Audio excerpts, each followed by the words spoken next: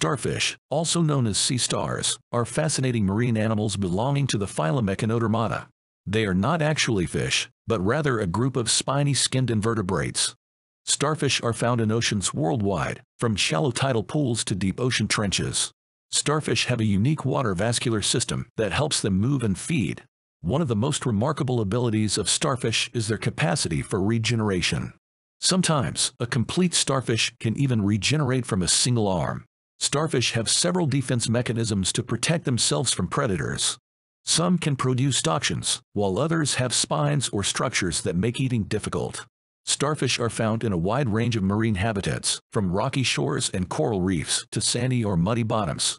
Sexual reproduction involves releasing eggs and sperm into the water, where fertilization occurs. Some species can also reproduce asexually by fragmentation, where a piece of a starfish can regenerate into a whole new